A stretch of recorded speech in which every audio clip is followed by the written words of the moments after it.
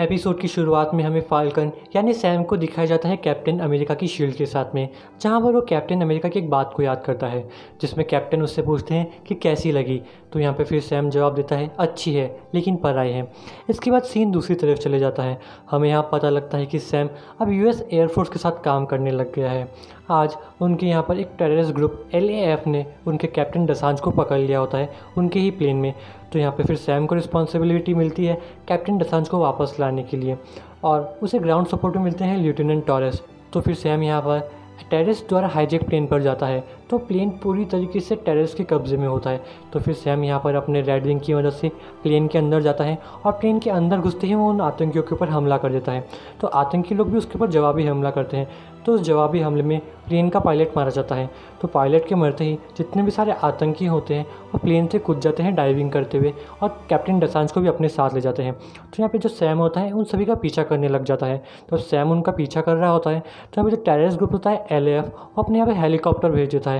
तो सारे हेलीकॉप्टर यहाँ पे सैम के ऊपर गोलाबारी करने लग जाते हैं। तो फिर सैम लास्ट में जैसे तैसे रेड विंग के साथ मिलकर उनके सारे हेलीकॉप्टर्स को उड़ा देता है, उनके सारे आतंकियों को भी मार देता है और फिर लास्ट में कैप्टन डसांस को भी बचा लेता है, बिना लीबिया की बॉर्डर के अंदर घुसे हुए। इसके बाद सीन ट्यूनिशा की तरफ़ चले जाता है। हमें यहाँ पर सैम और लेफ्टिनेंट टॉरस को दिखाया जाता है। तो यहाँ पर टॉरस सैम से कैप्टन अमेरिका के बारे में कई सारे क्वेश्चन पूछता है। फिर वो उसे एक टेररिस्ट ग्रुप फ्लैग स्मेशर्स के बारे में बताता है, जिनका मानना होता है कि दुनिया टोनी के ब्लिप से पहले ही अच्छी थी, जहाँ कम लोग बाग हुआ करते थे। इधर फिर सीन वापस वाशिंगटन डीसी की तरफ़ चले जाता है। हमें यहाँ सैम को दिखाया जाता है यहाँ पे सैम का मानना होता है कि वह कैप्टन अमेरिका की शील्ड के लायक नहीं है। वह यहाँ पे मानता है कि भले दुनिया में अब नई नई चुनौतियाँ आ गई है, टोनी के ब्लिप के बाद में दुनिया की पॉपुलेशन बढ़ गई है और दुनिया को अब नए हीरोज़ भी चाहिए, लेकिन यहाँ पर कैप्टन अमेरिका की जगह कोई नहीं ले सकता। तो फिर वो यहाँ पर कैप्टन अमेरिका की शील्ड को एक म्यूज़ियम को दे देता है, ताकि वह शील्ड कैप्टन अमेरिका के सूट के साथ रख सके और यहाँ पे उनकी लेगेसी बरकरार रहे। अब जो रोडी होता है, अभी भी यहाँ पर सैम को इंसिस्ट करता है कि वह नया कैप्टन अमेरिका बन जाए। लेकिन यहाँ पर जो सैम होता है, मना कर देता है, क्योंकि वह खुद को लायक नहीं समझता कैप्टन अमेरिका बनने की। इधर फिर एक सीन होटल की तरफ़ चले जाता है। हमें यहाँ पर पुराने बकी बाँस को दिखाया जाता है, जो कि विंटर सोल्जर है और हाइड्रा के कंट्रोल में है। तो यहाँ पे होटल में आता है और लोगों को मारता है। और फिर लास्ट में होटल में जब वो सभी लोगों को मार देता है तो लास्ट में वो एक इनोसेंट चाइनीस आदमी को भी मार देता है, जो कि गवाह होता है उसके सभी कत्ल का। तभी अचानक से यहाँ पर बकी की नींद खुल जाती है और हमें पता लगता है कि यहाँ पर बकी सपना देख रहा था और हमारे प्रेजेंट डे में आ जाते हैं। अब हमें पता लगता है कि जो बकी है, अभी वो न्यूयॉर्क में रह रहा है और हमें यहाँ पे पता लगता है कि यूएस गवर्नमेंट ने उसके लिए थेरेपी सेशन रखा हुआ होता है ताकि वो पहले जैसी लाइफ वापस जी सके। तो यहाँ पे जो बकी होता है, अपनी पुरानी गलतियों को सुधार रहा होता है, जो कोई भी उसकी मदद से मतलब विंटर सोल्जर की मदद से किसी अच्छी पोजीशन पर चले गए और जिन भी लोगों ने विंटर सोल्जर का एडवांटेज लिया, वह उन सभी को यहाँ पर पुलिस के हाथों पकड़वा देता है। तो पुलिस के हाथों पकड़वाते टाइम वह तीन बातों का ध्यान रखता है कि पहली बात, किसी को चोट न लगे, हर चीज़ कानून के दायरे में हो और लास्ट कि वो कभी विंटर सोल्जर ना बन जाए। तो इसी पर काम करते हुए उसने कल ही एक सेनेटर को पुलिस के हाथों पकड़वाया था, जो कि विंटर सोल्जर की मदद से सेनेट तक पहुँची थी, लेकिन अभी भी वह सुधरी नहीं थी और अपनी पोजीशन का गलत फ़ायदा उठा रही थी। तो यहाँ पे जो उसकी थेरेपिस्ट होती है, उसके ऊपर चिड़ जाती है। वो उसे वापस एक नई लाइफ शुरू करने के लिए कहती है। वो उसे यहाँ पे इंसिस्ट करती है लोगों से घुलने मिलने के लिए और उसे डांटती भी है क्योंकि वो किसी के भी मैसेजेस को रिस्पॉन्ड नहीं कर रहा था। और यहाँ तक कि सैम के मैसेजेस का भी जवाब नहीं दे रहा था। तो फिर यहाँ पर फिर बाकी उससे कुछ टाइम माँगता है अपनी पूरी लाइफ को वापस पटरी पर लाने के लिए। अब जो बाकी है वह न्यूयॉर्क में रहने लग गया है अंकल यूरी के साथ में। मतलब वह ज़्यादातर टाइम अंकल यूरी के साथ स्पेंड करता है। मतलब वह उनके साथ डिनर करता है, उनके साथ लंच करता है।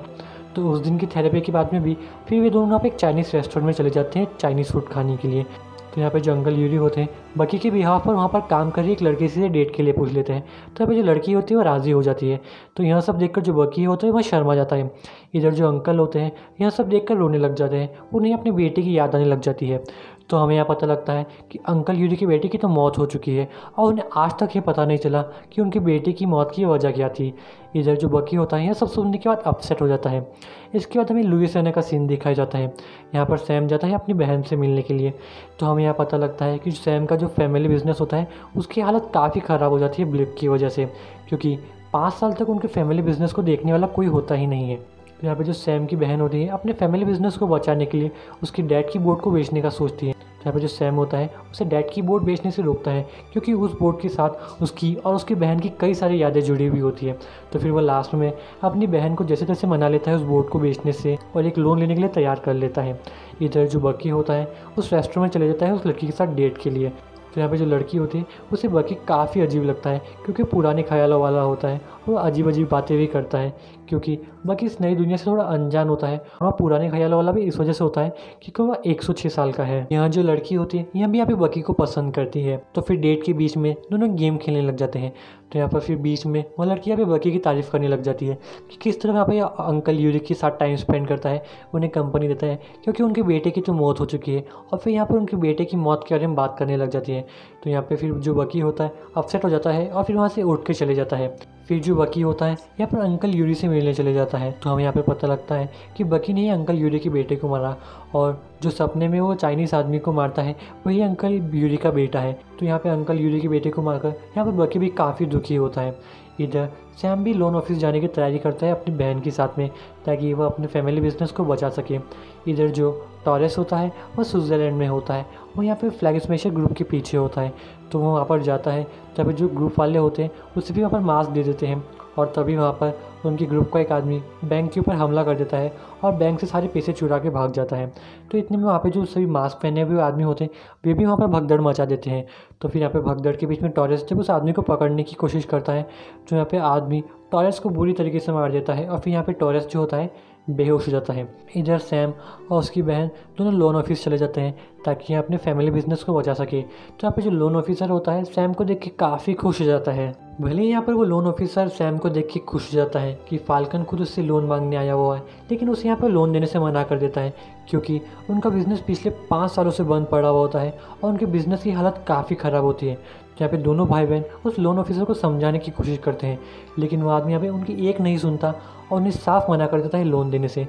तो जब उन्हें लोन नहीं मिलता तो यहाँ पे दोनों भाई बहन काफ़ी दुखी हो जाते हैं। पे जो सैम की बहन होती है, उसे इंसिस्ट करती है बोट बेचने के लिए लेकिन सैम, जैसे तैसे उसे समझाता है कि वह कोई ना कोई जुगाड़ कर लेगा तो यहाँ पे जो उसकी बहन होती है, वो उसके ऊपर गुस्सा करती है।